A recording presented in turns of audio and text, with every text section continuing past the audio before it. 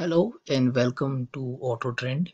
I created this channel recently uh, in order to expand my social media presence. I already have uh, this website, and you can visit the website in the description below.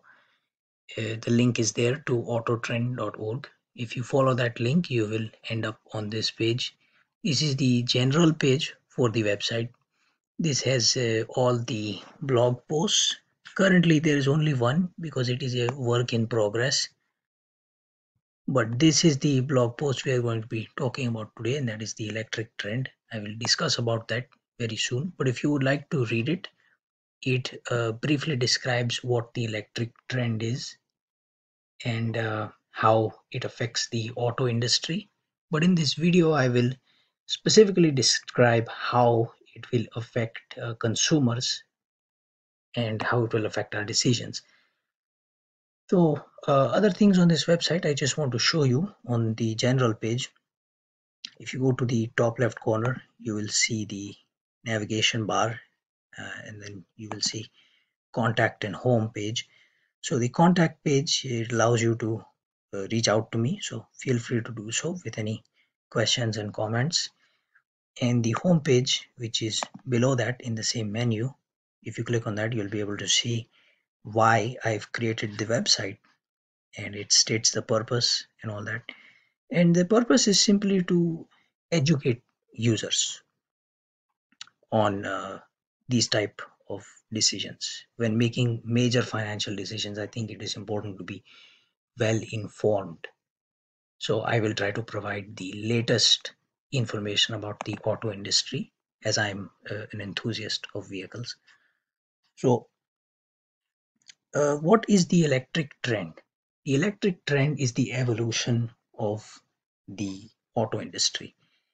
Vehicles used to be built with uh, internal combustion engines that are fueled by fossil fuels like petroleum or diesel.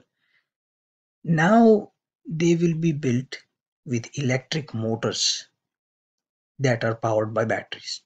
So that completely reduces carbon emissions, which is very good for the environment, but it's also good for us, the consumers, because now we don't have to waste time or money at the gas station. We can just charge our vehicles at home overnight. It's very convenient and it reduces our dependency on gas and other fossil fuels. So if you are still unsure about purchasing an electric vehicle and you are in the market for a vehicle, let me show you some data which may convince you. So this is a graph that I've acquired from the US Energy Information Administration and it can show you how volatile the gas prices are. So it's best to stay away from gas and I, I, I think uh, a lot of people have moved away from gas powered vehicles and they've bought electric ones, especially after this last peak, which happened in June 2022, which is when the US had its highest prices ever. So, obviously, we cannot tell which way the economy is going to go sometimes. So, it's best to get something a little more eco friendly, something more renewable. So, if you would like to buy a vehicle, you may be confused about which vehicles to buy. You may not know your options. And I can understand that misconception. It is purely because there's not a lot of companies in the market that are creating electric vehicles. If we look at the sales data from 2020, Tesla was number one, as you can see from the sales. But that is not the case anymore. There are other companies that have started building electric vehicles. It is no longer just Tesla. So let me show you the competitors. Uh, if you're looking for high-end models, something more uh, sporty or luxurious, that will be Audi e-tron GT and the Mercedes-Benz EQA. These are examples of current and upcoming vehicles from this price category. These are simply just examples. There will be other brands from the same price category that are making electric vehicles but these are just very prominent examples that I've chosen to use. but uh, that basically describes uh, that there's more than just Tesla. Then, uh, if you want something more affordable, there's the Ford Mustang Mach-E and the Honda E. And one other thing that this uh, electric trend has caused is new competitors to enter the marketplace, such as Polestar 1 and Rivian R1T.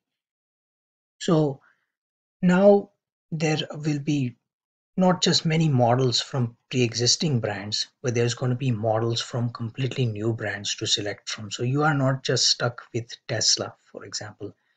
So there's a lot of options. My advice to you when picking these uh, options is look at the design, but then also look at other statistics like the charge time and the range.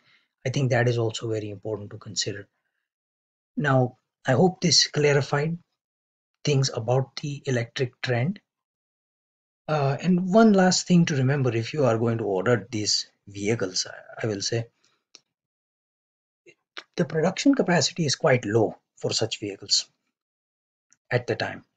Uh, resources are very scarce. So it's best to assume that you will have to wait 6 to 12 months for these vehicles to come in. Now, I've been to many dealerships and most sales representatives have given me the same number 6 to 12 months. So that is the only downside of getting this vehicle but i think it is definitely a very good long term investment. Now i hope this video uh, helped you and if it has please leave a like share and subscribe. Thank you very much